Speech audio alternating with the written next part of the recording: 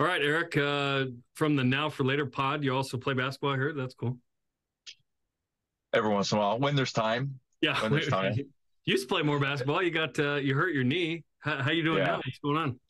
Yeah, I'm doing really well. Uh, obviously, we just spoke a minute before um, the interview. I'm actually at a, a treatment facility right now. Um, starting last week, I started running on one of those cool treadmills that'll you know change your body weight. So right now i'm changing you know just doing light jogs at i think it was like 35% of my body weight. So i feel great. I feel like i can run forever because it's you know nothing. But um, really good progress. It, has been amazing because you know they gave me a deadline or, or um, you know a projected amount of weeks that i'd be out.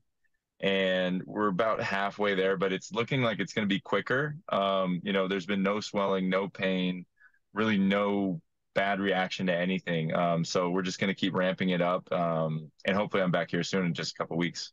That's awesome. That's great news. Uh, in terms of being hurt this time and being in the G League, but now you have a podcast and sort of controlling like what information is out as an athlete, obviously, which is this yeah. is the player empowerment era, right? NIL, right. transfer portal, more media. You can control your own media. You don't have to depend on anybody else. What's that been like for you to sort of like, okay, I I can tell what I want about my knee right. or not, and and you can sort of see this journey of recovery as well.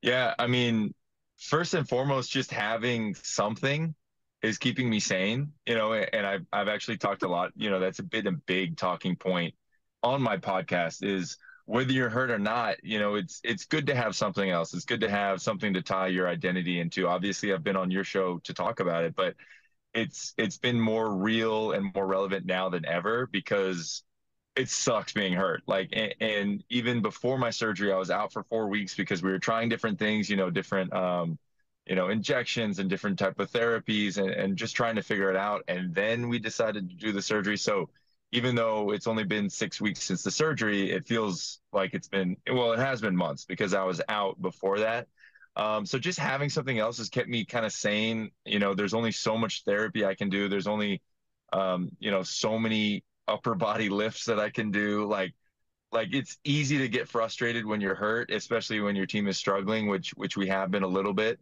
Um, and so it, it's nice having something. And then yeah, like you said, you know, being able to then turn it into a story. You know, like it's something I talked about on my episode last week. Something that's improved um, since starting this podcast is my ability to to tell stories, you know, which is which is a you know important skill to have in life. And now I get to you know spin this in a positive light and and talk about it and hopefully help at least one other person once you know they confront something like this, which is inevitable for for a lot of people, not just one. Yeah. So if if it's your knee as an athlete, that might be something else, right? For people who aren't athletes, like yeah, right. We all have this. It's been fun to see who you've had on the show, by the way. John Stockton, Steve Young, KVN, Dar- uh, Deron Williams, Avery Bradley, yeah. MyKayla Skinner, among others. What? Ah. Who, who, who's the person you want on that you think you can get that you haven't had on yet?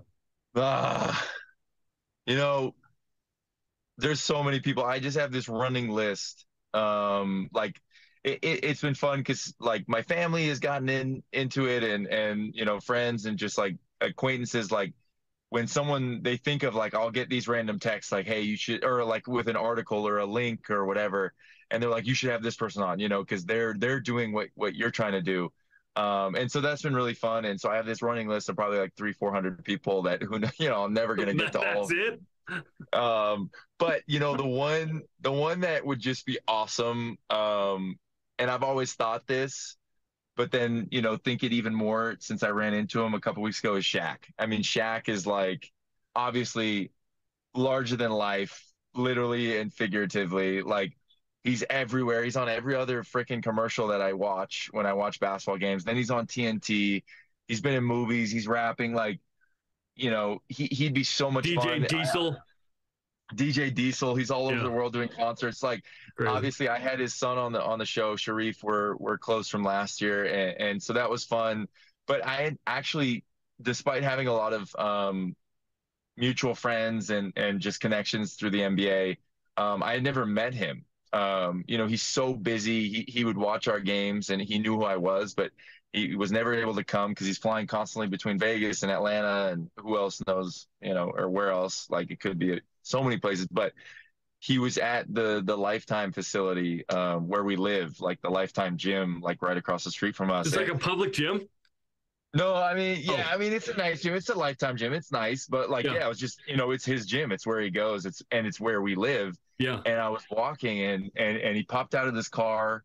You know, I should have known. I mean, the car was enormous. Um, and like it, it was funny because I, I feel like I know him, like I said, because of these mutual friends, because of Shareef. So like without even hesitating or thinking, we made eye contact and I was like, What's up, Shaq Daddy? And like and like running it back, I was like, Did I really just say that? But like, you know, he he's so cool, he's so charismatic, like and, and he you know, it was cool for me, one, because he knew who I was. Um, obviously watching the games through his son Shareef. Um, and then he he knew my son's name too. He was like, because I was walking with my family and and he was like, "There's," he's like, "There's JoJo."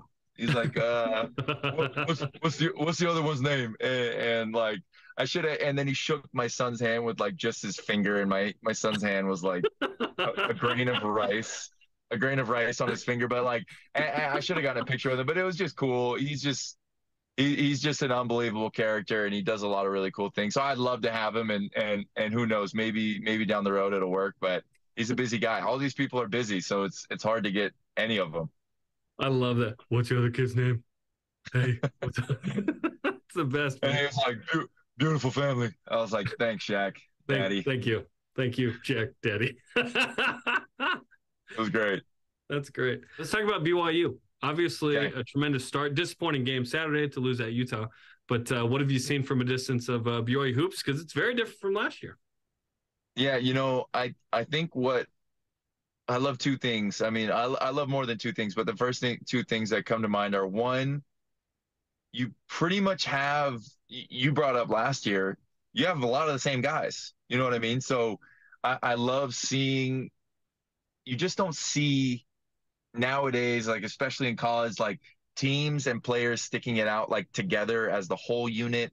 Um, you know, some people listening to this will be like, "Oh, it's ironic coming from Eric Mika," but like they're, you know, they all they're all there, like yeah, and and, and you can tell that they like each other. You know, obviously, I, I know the players um, a little bit from workouts in the summer you know i interact with them on social media like you can tell that they genuinely like each other which is which is huge you know like they hang out off the court like as stupid as it seems like it matters you know um because at the end of the day when when you're looking to the guy next to you and you see a you, you know you see him more like a brother than you know just a teammate or an acquaintance then you're going to make that extra pass. You're going to you're going to dive on the floor. You're not going to worry about foul trouble or having a bad shooting game if he's playing well you know? So so I really think that matters, and I think you see um, that it translates.